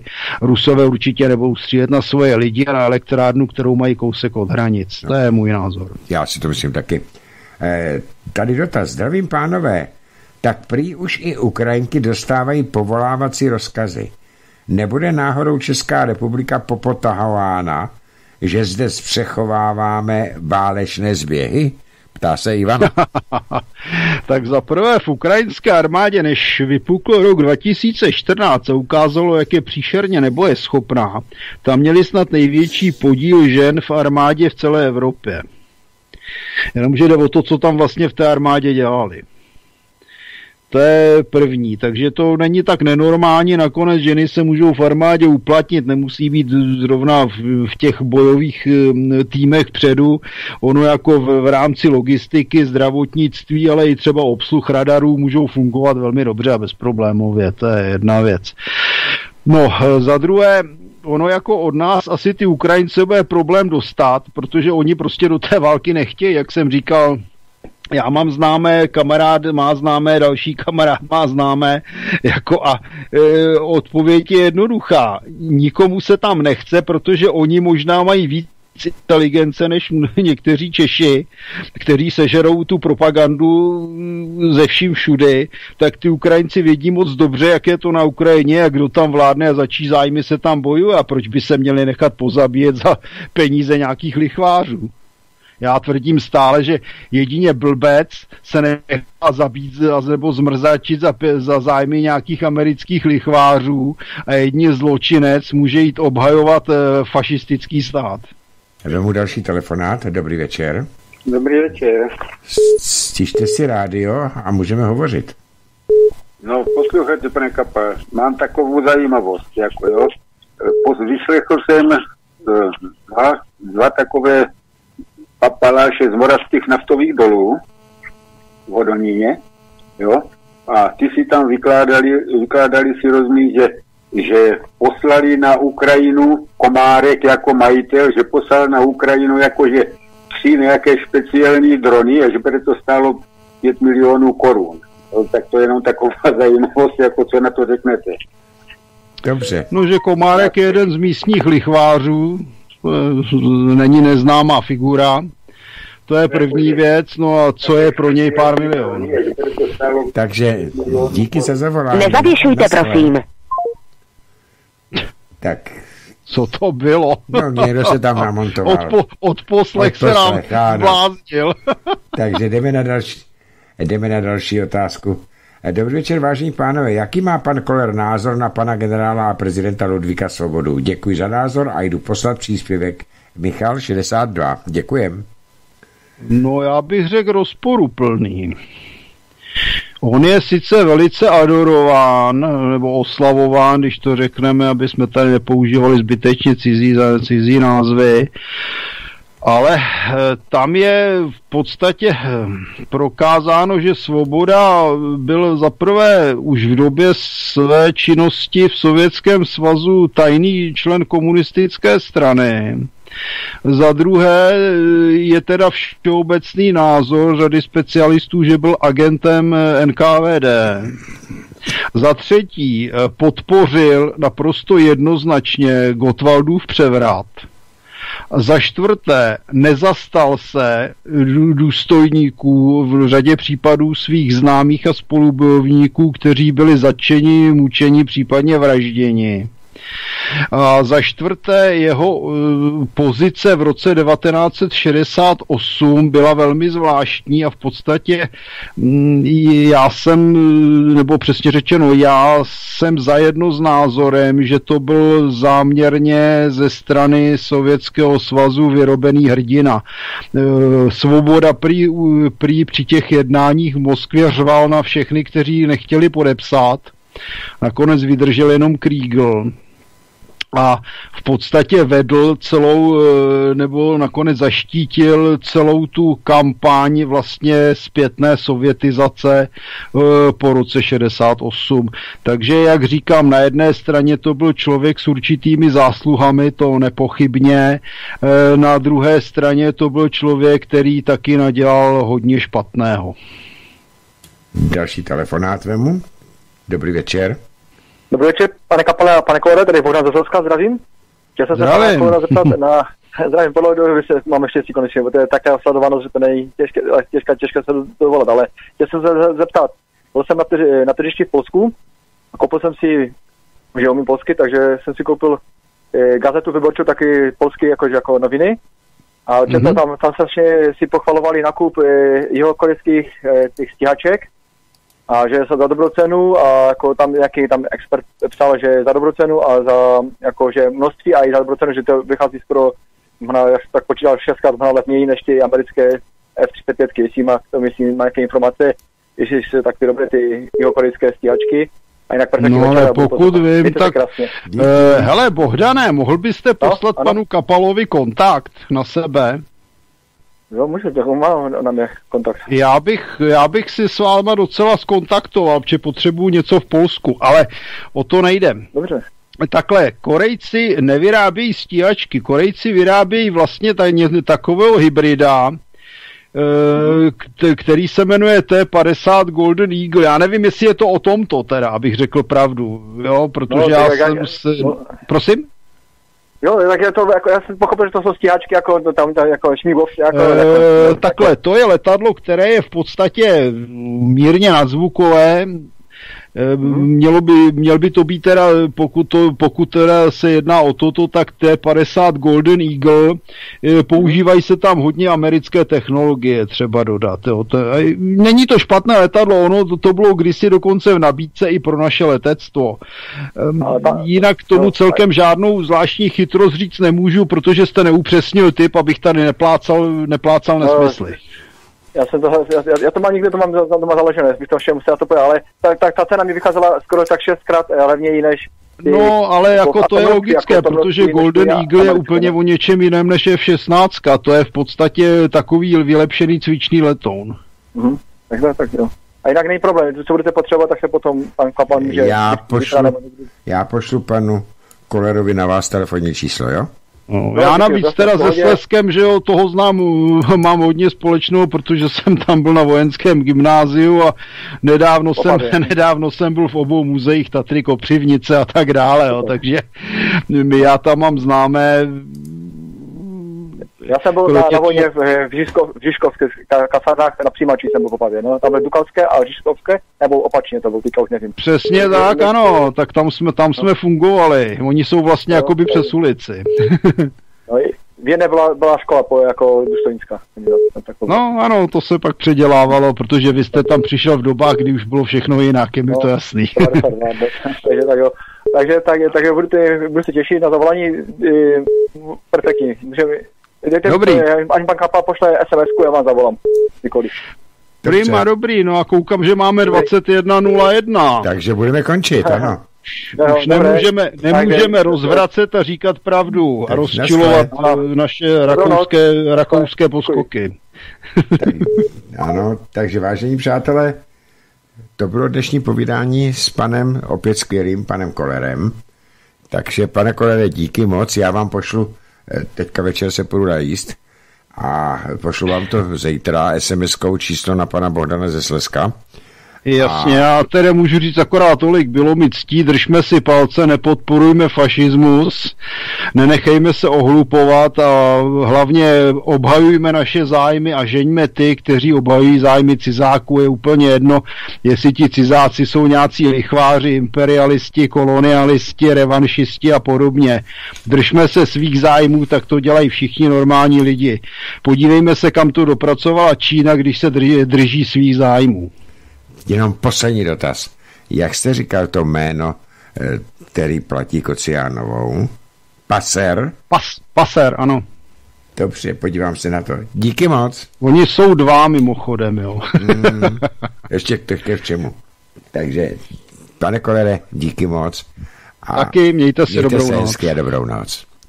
Tak vážení přátelé, to bylo dnešní povídání s panem Martinem Kolerem. No a my si dáme tady na odlehčení takovou pěknou písničku a potom předám vysílání dalšímu studiu Svobodného rádia a zítra, pokud dopadne všechno to tak, jak je to domluveno, tak tady bude od 19 hodin herec pan Ivan Vyskočil. Takže se budeme bavit zřejmě na toto téma a ona politiku samozřejmě zabroušíme taky. Ode mě to taky všechno, přeji dobrou noc.